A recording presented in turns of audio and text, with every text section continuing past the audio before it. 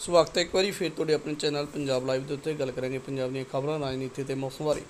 ਪੰਜਾਬ ਦੇ ਇਹਨਾਂ ਪੰਜ ਜ਼ਿਲ੍ਹਿਆਂ ਦੇ ਵਿੱਚ ਮੀਂਹ ਦਾ ਜੈਲੋ ਅਲਰਟ ਕੀਤਾ ਜਾਰੀ। ਤੁਹਾਨੂੰ ਦੱਸ ਦਈਏ ਕਿ ਭਾਰਤੀ ਮੌਸਮ ਵਿਭਾਗ ਅਨੁਸਾਰ ਪੰਜ ਜ਼ਿਲ੍ਹੇ ਪਠਾਨਕੋਟ, ਗੁਰਦਾਸਪੁਰ, ਹੁਸ਼ਿਆਰਪੁਰ, ਨਵਾਂਸ਼ਹਿਰ, ਰੂਪਨਗਰ ਵਿੱਚ ਜੈਲੋ ਅਲਰਟ ਜਾਰੀ ਕੀਤਾ ਹੈ। ਪੰਜਾਬ ਦੇ ਹੋਰ ਜ਼ਿਲ੍ਹਿਆਂ 'ਚ ਵੀ ਮੀਂਹ ਪੈਣ ਦੀ ਸੰਭਾਵਨਾ ਹੈ।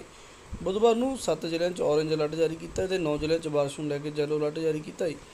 ਇਸ ਸਮੇਂ ਦੌਰਾਨ ਸਰਗਰਮ ਮਾਨਸੂਨ ਅਤੇ ਪੱਛਮੀ ਗੜਬੜੀ ਦੇ ਕਾਰਨ ਪੰਜਾਬ ਦੇ ਜ਼ਿਆਦਾਤਰ ਖੇਤਾਂ ਵਿੱਚ ਮੀਂਹ ਪੈਣ ਦੀ ਸੁਭਾਵਨਾ ਤੇ ਤੇਜ਼ ਹਵਾਵਾਂ ਦੀ ਸੰਭਾਵਨਾ ਚੱਲਣ ਦੀ ਦਰਸਾਈ ਗਈ ਹੈ।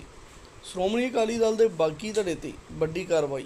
ਸਿਕੰਦਰ ਸਿੰਘ ਮਲੂਕਾ, ਬੀਬੀ ਜੰਗੀਰ ਕੌਰ, ਪ੍ਰੇਮ ਸਿੰਘ ਚੰਦੂਮਾਜਰਾ ਸਣੇ ਇਹਨਾਂ ਆਗੂਆਂ ਨੂੰ ਕੱਢਿਆ ਪਾਰਟੀ ਤੋਂ ਬਾਹਰ। ਪੰਜਾਬ ਦੀ ਪੰਚਾਇਤੀਆਂ ਚੋਣਾਂ ਦੀ ਤਿਆਰੀ ਰਾਜ ਚੋਣ ਕਮਿਸ਼ਨ ਨੇ ਜਾਰੀ ਹੁਕਮ ਕਰਤੇ। ਪੰਜ ਸਰਪੰਚ ਦੀਆਂ ਅਸਾਮੀਆਂ ਰਾਖਵੀਆਂ ਕਰਨ ਨੂੰ ਕਿਹਾ ਗਿਆ।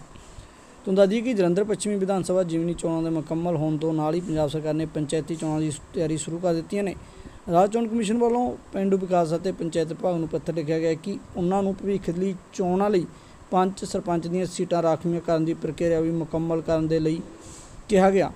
ਅਤੇ ਨਾਲ ਹੀ ਤੁਹਾਨੂੰ ਦੱਸ ਦਈਏ ਕਿ ਪੱਤਰ ਵਿੱਚ ਕਿਹਾ ਗਿਆ ਕਿ ਅੰ- ਕਿ 11/5 ਅਨੁਸਾਰ ਰਾਖਵੀਕਰਨ ਸੰਬੰਧੀ ਨੋਟੀਫਿਕੇਸ਼ਨ ਹਰ ਜ਼ਿਲ੍ਹੇ ਵਿੱਚ ਡਿਪਟੀ ਕਮਿਸ਼ਨ ਵੱਲੋਂ ਜਾਰੀ ਕੀਤਾ ਜਾਵੇ। ਤਾਂ ਚੋਣਾਂ ਸਮੇਂ ਆਮ ਲੋਕਾਂ ਤੇ ਉਮੀਦਵਾਰਾਂ ਨੂੰ ਮੁਸ਼ਕਲਾਂ ਦਾ ਸਾਹਮਣਾ ਕਰਨਾ ਨਾ ਪਵੇ। ਪੰਚਾਇਤ ਵਿਭਾਗ ਦੀ ਤਰਫੋਂ ਫਰਵਰੀ ਵਿੱਚ ਪੰਚਾਇਤਾਂ ਨੂੰ ਭੰਗ ਕਰਨ ਦਿੱਤਾ ਗਿਆ ਜਿਨ੍ਹਾਂ ਕਾਰਜਕਾਲ 5 ਸਾਲ ਪੂਰਾ ਹੋ ਗਿਆ ਸੀ। 2018 ਵਿੱਚ ਕਾਂਗਰਸ ਸਰਕਾਰ ਵਾਲੇ ਪੰਚਾਇਤੀ ਚੋਣਾਂ ਉਸ ਸਮੇਂ 13276 ਸਰਪੰਚ ਤੇ 88831 ਮੈਂਬਰ ਬਣੇ ਸਨ। ਪੰਜਾਬ ਦੇ ਇਸ ਜ਼ਿਲ੍ਹੇ 'ਚ ਛੁੱਟੀ ਦਾ ਐਲਾਨ ਭਲਕੇ ਬੰਦ ਰਹਿਣਗੇ ਸਕੂਲ, ਕਾਲਜ ਅਤੇ ਸਰਕਾਰੀ ਦਫ਼ਤਰ। ਸ਼ਹੀਦ ਊਧਮ ਸਿੰਘ ਦੇ ਸ਼ਹੀਦੀ ਦਿਵਸ ਨੂੰ ਰਾਜ ਪੱਧਰ ਤੇ ਮਨਾਏ ਜਾਣ ਦੇ ਮੱਦੇਨਜ਼ਰ ਇਹ ਫੈਸਲਾ ਲਿਆ ਕਿ ਇਸ ਛੁੱਟੀ ਦਾ ਮਕਸਦ ਲੋਕਾਂ ਨੂੰ ਸ਼ਹੀਦ ਦੇ ਬਲੀਦਾਨ ਨੂੰ ਸ਼ਰਧਾਂਜਲੀ ਭੇਟ ਕਰਨ ਦੇ ਯੋਗ ਬਣਾਉਂਦਾ ਹੈ। ਇਹ ਹੁਕਮ ਪ੍ਰੀਖਿਆਵਾਂ ਲੈ ਰਹੀਆਂ ਸਿੱਖਿਆ ਸੰਸਥਾਵਾਂ ਤੇ ਲਾਗੂ ਨਹੀਂ ਹੋਣਗੇ।